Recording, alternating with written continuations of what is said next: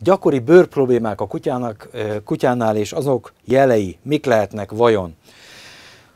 A bőrproblémák és a bőrelváltozásoknak a ö, gyakori oka az a fertőzés, a bőrnek a fertőzése, amelyet okozhatnak gombák, paraziták, vagy leggyakrabban talán inkább baktériumok. A bőrelváltozások hátterében hiánybetegségek is állhatnak, például a telítetlen zsírsavak, egyes makro vagy mikroelemeknek a hiánya, itt az, a rezet és a, a cinket azért mindenképp érdemes megemlíteni.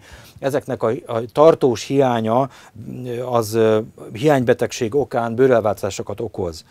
Hormonális megbetegedések is okozhatnak bőrelváltozásokat, pigmentációs zavarokat, érzékenyítik, a gyulladásra hajlamosítják az adott bőrterületeket, jellemzően lágyéktájékon, ujjak között, illetve a fül belső oldalán. Például a pajzsmirigy alulműködés egy jellemző erre a megbetegedésre, vagy az allergia, amely gyakorta jellemzően bőr tüneteket okoz. Általában ugye kétfajta, fő kétfajta allergia létezik, a táplálék és a pollenallergia, természetesen van kontaktallergia is még, de az, az, az ritka. A allergén bekerülésekor kialakuló irritatív bőrpanasznak a megnyilvánulása nem csak a bőrpír, hanem a vízketegség is. A kutya jelentősen és néha kínzó módon vakarja egy vagy más testáját, ilyenkor is hát erre föl kell figyeljünk. A szőrzet állapota is indirekt módon a bőr megbetegedését kvázi indikátorra, vagy ezt fényjelzi.